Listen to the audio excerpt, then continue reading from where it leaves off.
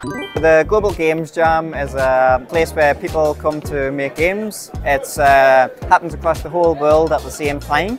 So uh, people in Australia all the way to America and even the Middle East are all making games across the world at the same time.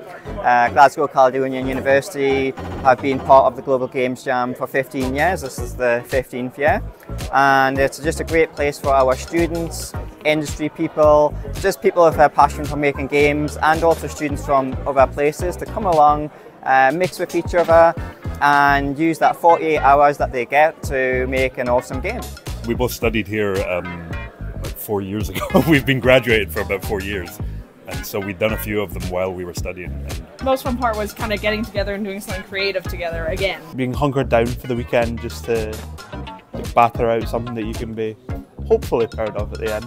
See- Seeing everybody's work kind of come together, like the artists done really great job, um, and just seeing it all come together is really nice.